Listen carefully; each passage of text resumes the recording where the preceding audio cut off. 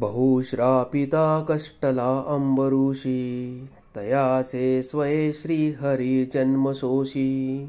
दिला क्षीरसिन्धु तया उपमानी, नुपेक्षी कदा देव भक्ताभिमानी